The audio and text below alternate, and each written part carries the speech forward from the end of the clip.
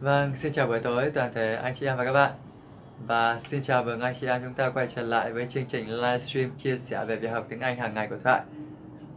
Và xin chúc cho anh chị em chúng ta có một buổi tối vui vẻ. Và ngày mai chúng ta đã là cuối tuần rồi. Chúc cho anh chị em chúng ta có một uh, cuối tuần thật nhiều niềm vui và ý nghĩa. Và chúng ta cũng không quên học bài, có thể đọc sách hay đi đâu đó. Chúng ta có thể đi chơi nhưng chúng ta cũng không quên việc liên tục học tập. Đúng không ạ? Và chúng ta lại tiếp tục quay trở lại với bài học của Thoại ngày hôm nay. Chúng ta chia sẻ về những video của thầy AJ Hope về phương pháp học tiếng Anh, hiệu quả, làm sao chúng ta có thể giao tiếp đến tiếng Anh một cách trôi chảy, và phương pháp hoàn toàn khác biệt với việc chúng ta học ở trên trường. Nếu như trên trường chúng ta học, chúng ta cảm thấy rất là buồn chán và chúng ta mãi không nói được tiếng Anh, làm bài tập vẫn sai và rất là ngại khi mà nói tiếng Anh, thì với phương pháp này chúng ta sẽ yêu thích môn tiếng Anh và chúng ta hoàn toàn có thể làm chủ được tiếng Anh, giao tiếp được tiếng Anh. Và các bạn thân mến, nếu như các bạn mong muốn được cải thiện trình độ giao tiếp tiếng Anh của mình thì các bạn cũng hãy tham gia cùng mình, được không ạ?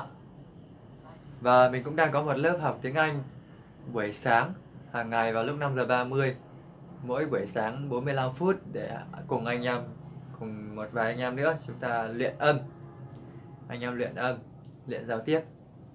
Thì nếu như anh em ta có mong muốn tham gia thì có thể join cùng thoại, được không ạ? Thì buổi sáng chúng ta sẽ thức dậy sớm để học được một cái điều gì đó mới và luyện thêm được một ngôn ngữ mới. Thay vì việc chúng ta ngủ, đúng không? Thì chúng ta học được một điều gì đó mới mẻ và thức dậy với một nguồn năng lượng đỉnh cao. Trước khi chúng ta đi làm không ảnh hưởng đến công việc của các bạn đúng không ạ? Chỉ 45 phút hàng ngày thôi. Ok và bây giờ chúng ta sẽ bắt đầu vào bài học ngày hôm nay. Thì chúng ta sẽ đến với câu hỏi. Trả lời cho câu hỏi là phương pháp học tiếng Anh qua English Learn English with Story. Học qua các câu Ừ. chuyện. Và bao nhiêu trong số các bạn đã sẵn sàng rồi ạ? Nếu như các bạn đã sẵn sàng thì hãy comment xuống đây là tôi đã sẵn sàng để thoại bắt đầu chia sẻ Vâng, ok. Yes, are you ready? Yes, I'm ready. Just, just, just. Ok. Do like this to make me feel more energetic. Làm như thế này thì chúng ta sẽ có thêm năng lượng hơn trước khi chúng ta thuyết trình, trước khi các bạn làm bất kỳ điều gì đúng không? Đặc biệt là khi thuyết trình nhiều người trong chúng ta cảm thấy rất là sợ hãi thì chúng ta có thể làm những động tác crazy một chút. Chuẩn bị vào tư thế chiến đấu. Yeah! Hiểu không? Ví dụ như thế để chúng ta cảm thấy là tự tin hơn. Các bạn thấy rằng là nay mình làm livestream cũng gần được một tháng rồi, gần một tháng liên tục rồi đấy. Thêm mấy ngày nữa thôi là được một tháng. Thì bây giờ nói cũng thấy bon bon hơn rồi. nếu thì các bạn, nếu như các bạn cũng mong muốn luyện tập cái khả năng thuyết trình, khả năng tự tin trước đám đông thì hãy cứ lên đây mà nói. Được không ạ? Thỉnh thoảng có một vài người ghé thăm thôi. Bây giờ Facebook họ nó hạn chế tương tác, không có nhiều người xem livestream của các bạn đâu. Thực tế như thế này là các bạn đang làm cho chính mình đúng không? Bây giờ đây mình đang luyện tập cho chính bản thân mình thôi. Là chính Còn một số bạn nếu như các bạn có ghé thăm Các bạn cũng mong muốn học tiếng Anh hay Thấy mình đang luyện tập Các bạn cũng mong muốn luyện tập để phát triển được cái kỹ năng này Kỹ năng nói, kỹ năng thuyết trình. Hiểu không? Thì các bạn cũng có một cái chút gì đó động lực Để các bạn cũng phấn đấu các bạn có thể làm theo. Mình cũng phải cũng đắn đo cũng nhiều phết đấy Cũng suy nghĩ cũng lúc đầu cũng ngại phết. Khi mà lên livestream như thế này nhưng nhưng không sao cả. Sau một thời gian bây giờ rồi, cũng bắt đầu nói bon bon hơn một chút rồi, có tiến bộ rồi. Cảm nhận thấy như thế, bắt đầu nói, có ngữ điệu cũng như là nhấn nhá một chút. Đấy, mình bắt đầu mình để ý vào các cái cái lời mình nói ra như thế là bắt đầu sử dụng tay một chút được biểu cảm của khuôn mặt. Tập, luyện tập luyện tập. Được thưa các bạn? Và ok. Rồi, thôi, chia sẻ với các bạn một chút như thế nhá. Bây giờ chúng ta sẽ bắt đầu vào bài tập ngày hôm nay. Hi, I'm AJ Hook, the director of Effortless English. It's time for today's student's question. Và chúng ta tiếp tục trả lời một câu hỏi của các bạn học sinh hỏi thầy AJ Hook. It's one of our common question. Here's the question. AJ, why do you such crazy, weird, strange story to teach English speaking? Weird, strange. Weird là kiểu là gì nhỉ? Cái từ ý là lạ lùng. một cách uh, cái từ weird um, kiểu như là gì nhỉ cái từ này mình quên mất rồi lâu ngày không dùng nó anh cũng quên quên nó kiểu kỳ lạ ấy. đấy strange là kỳ lạ weird lạ lùng tại sao thầy A.J. Hook lại sử dụng các câu chuyện kỳ lạ lạ lùng để mà dạy tiếng Anh đúng không ạ Well, it is true. One of the most important part of our system are our many story lesson. Is point of view story lesson. Và đó là những một hệ thống các câu chuyện trong cái phương pháp Effortless English của thầy. Hope. And any lesson we use very crazy strange, strange story và trong các cái câu chuyện đó sử dụng very strange các cái nhân vật rất là kỳ lạ. For example như là monkey dog and talking rat hay là các con chuột nữa. Such, such a crazy stuff. Những các cái tài liệu rất là crazy rất là ngớ ngẩn điên rồ. And always crazy situation and strange situation. Rất là crazy and strange situation. Các tình huống nó cũng rất là lạ nữa. Why? Tại sao lại như thế? Why do we do this? Just funny? Có phải là chỉ để mục đích là funny không? Có phải để cho buồn cười không? Actually, no. Không phải là như thế. We actually we have strong reason for doing this. Chúng tôi có một cái lý do mạnh mẽ hơn. Vì sao chúng tôi lại làm cái điều đấy? The first reason we do this is that strange story are easy to remember than normal story. Tức là những các cái câu chuyện mà nó strange, câu chuyện nó lạ lùng thì nó easy to remember, nó dễ dàng để ghi nhớ hơn là những các câu chuyện thông thường. Right? Anything strange or different automatically for your brain, it's easier to remember tức là tất cả những cái gì mà nó kỳ lạ thì nó sẽ dễ dàng đi vào trong não của các bạn hơn. Easy to remember, dễ dàng nhớ hơn. It's something normal and usual. Your brain often will ignore it or forget it. Những cái gì mà nó normal, thông thường thì your brain, bộ não của các bạn sẽ ignore it, không quan tâm đến nó hay là dễ dàng forget it, quên đi nó but something very strange, weird, then your brain can remember it, uh, pay attention to it. Nhưng mà những các cái gì mà lạ thì nó sẽ bắt đầu bộ não của chúng ta sẽ tập trung vào nó, pay attention to it, focus on it.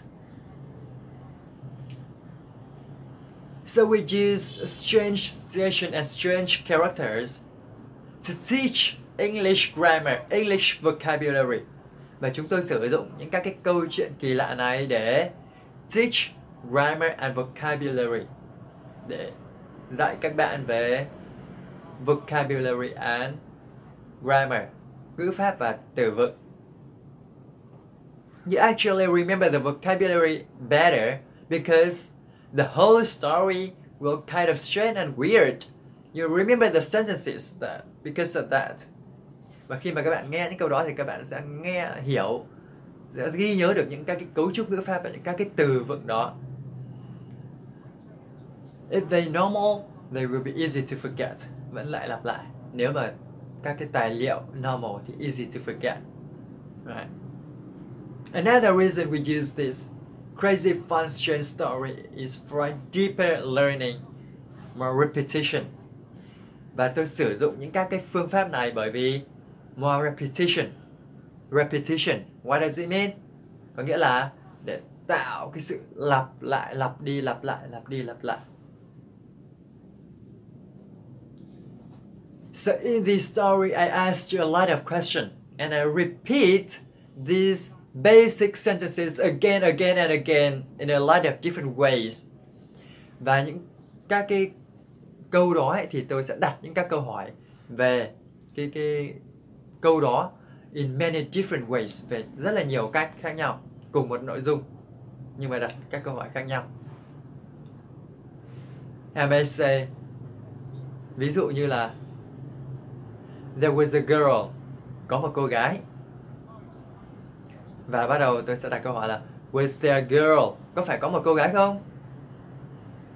Was there a girl or was there a boy? Có một cô gái hay là có một chàng trai? No, there wasn't a boy. Was there a girl? Thế có phải là có một chàng cô gái không? Nên sẽ đặt câu hỏi, các bạn hình dung không?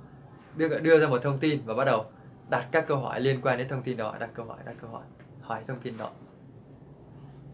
I'm asking again, again and again. In this example, I'm teaching you was there, uh, there was. Và trong cái trường hợp này thì tôi đang hướng dẫn bạn cách để đặt câu hỏi với there was and was there. Các bạn hình dung không? Tức là cấu trúc ở trong đó nữa, ở trong cái câu hỏi đó. Cấu trúc về was there and there was, cách sử dụng there was and was there. Về cùng một nội dung, cùng một thông tin đó, chúng ta đặt câu hỏi.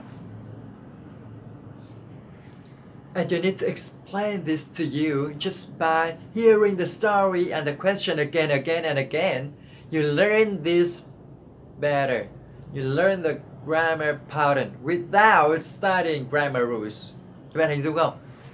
Và với việc lắng nghe cái câu hỏi đó, cái cái đoạn, cái đoạn um, hội thoại đó hay một cái cái tình huống đó thì cứ nhiều lần nhiều lần nghe như vậy thì các bạn learn cái pattern, cái mẫu câu cái cấu trúc đó một cách automatically một cách tự động thôi không cần phải học cấu cấu trúc nữa, mà là các bạn học một cách tự động ở trong câu rồi. No grammar rule study, các bạn không cần phải học cấu trúc nữa, đúng không? Because it's very it's very easy example. But also similar like difficult grammar. Tức là đó là một cái ví dụ đơn giản về việc áp dụng thôi. Còn những các cái câu mà khó hơn thì chúng ta cũng sẽ áp dụng cái phương pháp tương tự như thế một câu dài hơn đúng không thưa các bạn So, a lot of repetition for deep learning, change stations so you remember it more easily and more quickly. This thing together make our story lesson extremely powerful. Và cái phương pháp này sẽ giúp các bạn dễ dàng ghi nhớ hơn và extremely powerful. Thực sự rất là extremely vô cùng powerful. Rất là mạnh mẽ. You will enjoy them. To learn more about our lesson, go to Effortless English System. Join our free email course at effortlessenglishclub.com. Bye bye. Và và cái đoạn cuối vẫn là lặp lại như thế. Nếu như các bạn mong muốn có thêm nhiều các video về Effortless English thì hãy go to effortlessenglishclub.com. English đó effortlessenglishclub.com đấy. dot dot com là .com để các bạn có thể tìm hiểu thêm hay các bạn có thể search trên YouTube ở cái kênh uh, Asia Hope đấy các bạn có thể thấy các video của thầy Asia Hope các bạn có thể học thêm thì đó là bài ngày hôm nay chúng nay mình chia sẻ với các bạn một chút, một cái video ngắn ngắn như thế về à, tại sao lại sử dụng các cái câu chuyện khi mà chúng ta học tiếng Anh ở trong phương pháp Effortless English.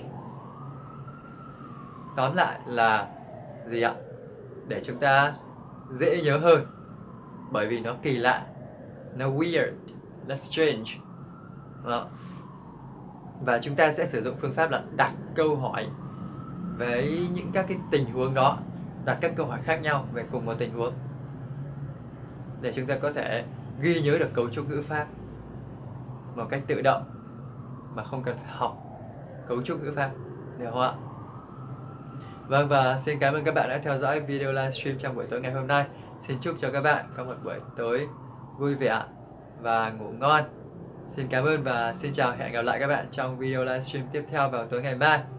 Goodbye.